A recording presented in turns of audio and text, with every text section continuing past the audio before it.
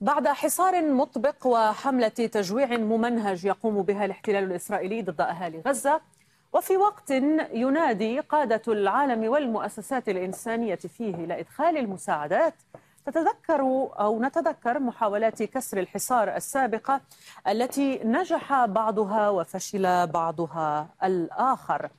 في الأثناء تنطلق اليوم أولى تجارب فتح طريق بحري إغاثي أعلن عنه منذ أيام.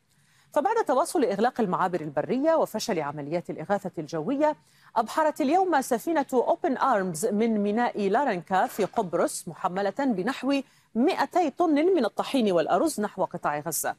وتتولى منظمة World Central Kitchen تنظيم المهمة وتقوم إسرائيل بتفتيش حمولة السفينة التي تعد أول سفينة ستصل منذ سنوات إلى القطاع الاحتلال الإسرائيلي يفرض حصارا بريا وجويا وبحريا مطبقا على غزة منذ 17 عاما حولها إلى سجن كبير وجعل القطاع في حالة عزلة عن العالم تقريبا. بالرغم من ذلك تمكنت بعض القوافل البحرية والسفن من كسر الحصار بقصد الإغاثة أو التضامن مع أهالي قطاع غزة سابقا. وكانت جلها عام 2008 أبرزها السفينتان المشهورتان الحرية وغزة الحرة حيث تمكنتا فعلا من الوصول إلى شواطئ غزة يوم الثالث والعشرين من أغسطس من نفس العام.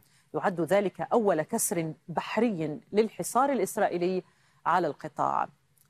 تلتهما قافلة بحرية من لجنة الإغاثة الإنسانية في مصر إلى قطاع غزة يوم العشرين من أكتوبر من عام 2008 بالإضافة إلى سفينة الكرامة وسفينة ديجنتي وكانت على متن هذه السفن ناشطون من مختلف الجنسيات داعمون لوقف الحصار على القطاع.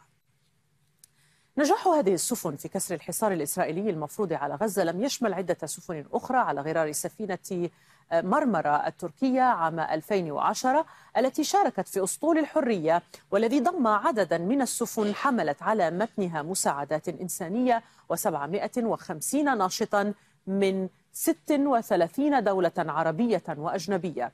تعرضت أثناء إبحارها في المياه الدولية قبالة سواحل فلسطين المحتلة للاعتداء من قبل قوات جيش الاحتلال الإسرائيلي ما أدى إلى مقتل عشرة مواطنين أتراك وإصابة 56 آخرين. وتمت مصادرة السفينة ما جعل إسرائيل مصدر دعاوى قضائية وتحقيقات دولية.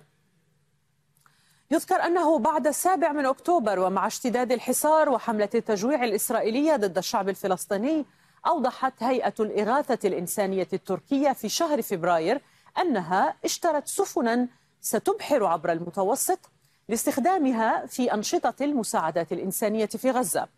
ولكن الهيئة الإغاثية لم تنجح في تحقيق مسعاها بدخول ميناء غزة واقتصر الدخول إلى ميناء العريش المصري ومنه إلى معبر رفح وبشكل محدود. أما بخصوص رحلة أوبن آرمز اليوم فهي تطرح تساؤلات بشأن تدخل الاحتلال في تفشي تفتيش المؤونة المحملة بالإضافة إلى تساؤلات أخرى بشأن أهداف تسيير مثل هذه السفن البحرية من قبرص اليونانية بإشراف إسرائيلي.